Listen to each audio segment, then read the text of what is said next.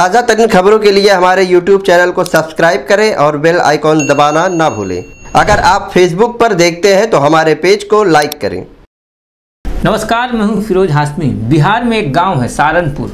उस इलाके की अगर हम बात करें, वहाँ पर एक जगह है, नंदलाल टोला, जहाँ पशु चोरी के मामले में तीन लोगों को पीट पीट कर मार डाला। मोबलीचिंग का मामला थमने का नाम ही नहीं ले रहा है। आए दिन घटनाएँ सामने आ रही हैं। लोगों को शक था। ये लोग जानवर चुराने आए हैं। इसी बात को लेकर भीड़ ने पीट पीट कर मौत के घाट उतार दिया। और दूसरी घटना, औरंगाबाद में एक मुस्लिम युवक को जय श्री राम का नारा लगवाया। काफ़ी तूल पकड़ता दिखाई दे रहा है मुस्लिम युवकों को। जय श्री राम बुलवाया जा रहा है और अगर वो नहीं बोल रहे हैं तो उन्हें मारा जा रहा है। और उसकी बेरहमी से पिटाई की गई एक हिंदू ने पूरे मामले को देखा जहाँ उसको बचा लिया। और अब हम बात करते हैं सोनभद्र की। सोनभद्र में ज़मीनी विवाद में दस लोगों की हत्या कर दी।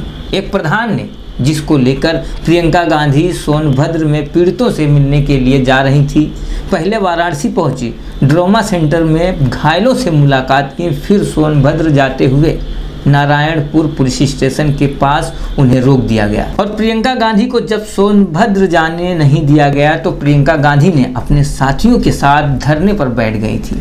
क्या है सोनभद्र हत्याकांड? दरअसल नरसिंहार हुआ है जमीनी विवाद में 17 जुलाई को 10 लोगों को मार डाला। ग्राम प्रधान ने दो साल पहले वहाँ 90 बीघा ज़मीन खरीदा था। ग्राम प्रधान ने जहाँ 17 तारीख को वो अपने समर्थकों के साथ, यानी 100 लोगों के साथ ज़मीन कब्जा करने पहुँचा। जहाँ ग्रामीणों के बीच विवाद बढ़ गया और वहाँ पर फायरिंग शुरू हो गई, जिसमें 10 लोगों की जानें चली गई और प्रियंका गांधी पीड़ितों के परिवार से मिलना चाहती थी, मगर उन्हें रास्ते में पुलिस ने रोक दिया और प्रियंका गांधी धरने पर बैठ गई, जहाँ से उन्हें हिरासत में ले लिया गया और उन्हें चुनार गेस्ट हाउस भेज दिया गया। वहाँ पर भी धरने पर बैठ गई। प्रियंका गांधी बार बार कह रही थी, हम चार लोग पीड़ितों से मिलना चाहते हैं। वहाँ जाना चाहते हैं, हमें मिलने नहीं दिया जा रहा है।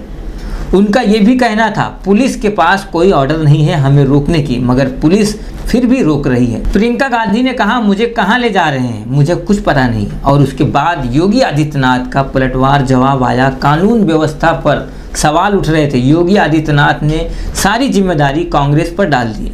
योगी आदित्यनाथ अपनी सरकार को बचाओ और हमने तो डीजीपी को निर्देश दिया है ये कहा और पर्सनल मामले की निगरानी करें डीजीपी और जो भी इस मामले में दोषी है उन पर सख्त सख्त कार्रवाई करने की आदेश दिया है। जो हादसा हुआ जिस तरह से हत्याएँ की गई हैं जिस तरह से गोली चलाई गई है पूरी योजना से 300 लोग पहुँचे वहाँ डेढ़ सौ लोग ज़मीन पे आ गए। ज़मीन को जोतने के लिए ट्रैक्टर से। डेढ़ सौ लोग डेढ़ सौ लोग नदी के किनारे किनारे रुके हुए थे कि कहीं कुछ छिपे हुए थे। बंदूक लेके आए। इन्होंने रोकने की कोशिश किया कि इनके पास कोई हथियार नहीं थे। उनके पास बंदूकें थी एकदम इनको मारने लगे। पहले लाठियाँ मारी फिर बंदूक से मारा।